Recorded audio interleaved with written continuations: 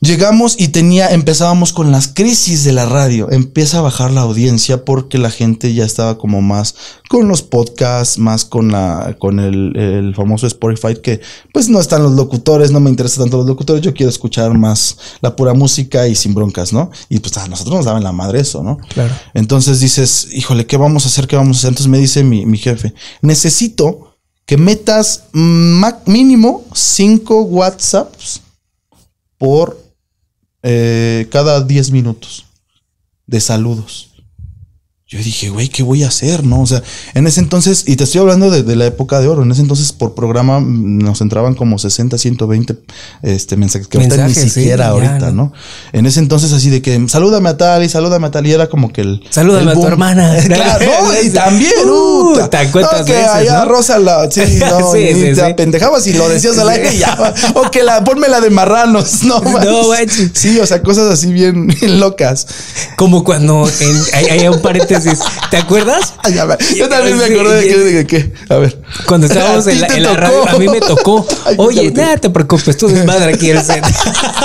es la costumbre de Junior. Sí. Oye, de que estábamos ahí en la radio y que me marca, ¿no? Que, oye, que saludos a, a, a quién era, a Betty o a Leti. No, me- Ah, oh, no, no, no, de era de este, de Armando de la Ajá, chingada. Armando y a Betty de Y a Betty cómoda. de cómoda. Y yo, ah, pues, y yo mandé el saludo bien pendejo. El Enrique bien formal. Eh, un saludo especial para Betty.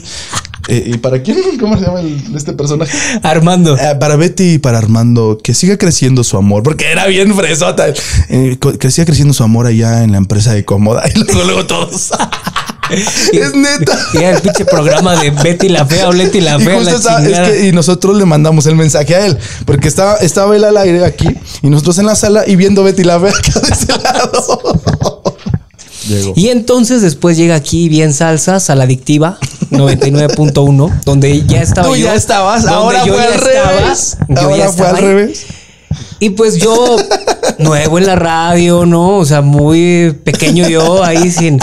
Y veo que llega el señor Junior Ávila. Dije, puta. Me madre". lleva la chinita. Y luego me dicen, va a ser el director general. Dije, no seas mamón.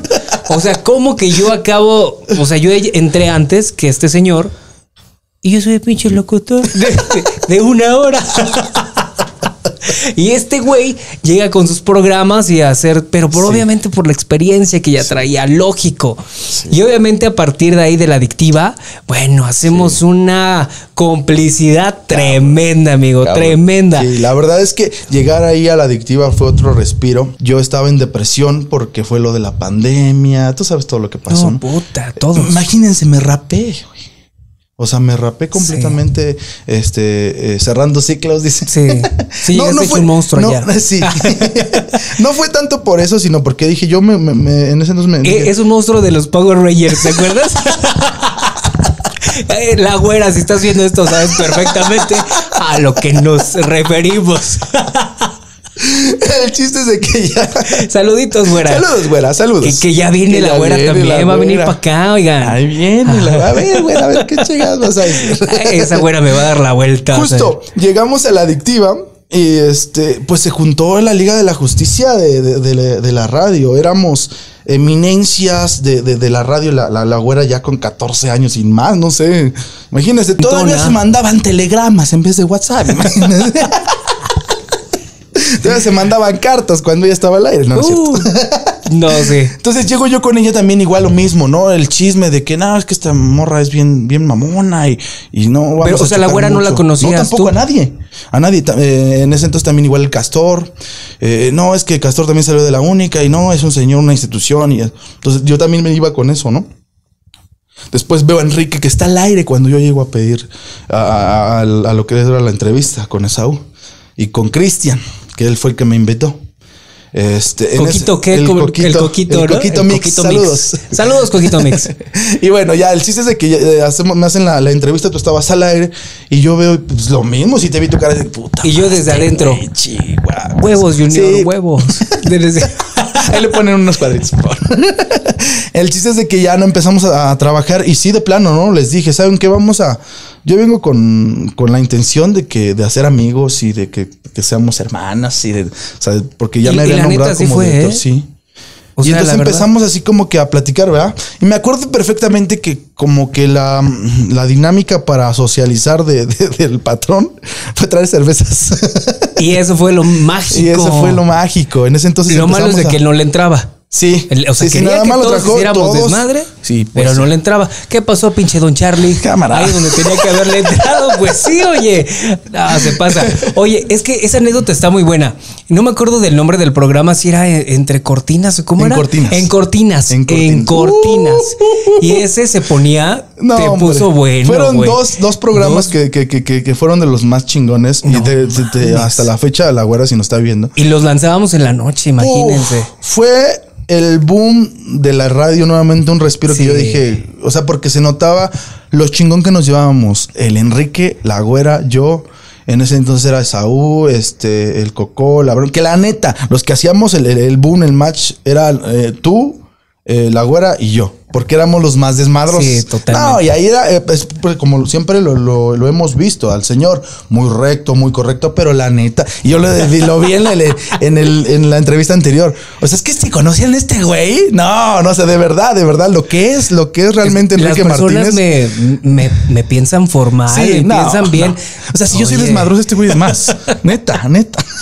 Es que no me conocen esa parte de Sí, mí, realmente. fíjate. Fíjate. Tanto así que yo les propuse a estos cabrones, y sí lo hicimos sin cámaras.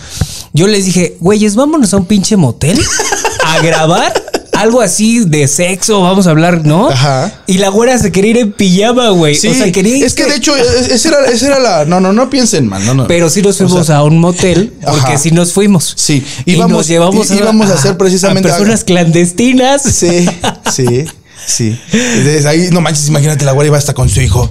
Esto estuvo Sí, chingón. sí, sí, sí. O sea, eran de esos desmadres que decíamos, pues vamos a armar, un buen contenido que, o sea, grabar desde que entrábamos al, al pinche hotel, a ver qué, qué se arma, como, que- de qué habla, de qué hablábamos. Que ahí no voy a decir nombres, pero la vez que nos fuimos al motel, se rentaron dos o tres habitaciones. No, Sí. dos, ¿no? Creo dos, Dos habitaciones. habitaciones. Pero se rentaron porque teníamos que dejar los autos. Sí, Íbamos en claro. dos autos.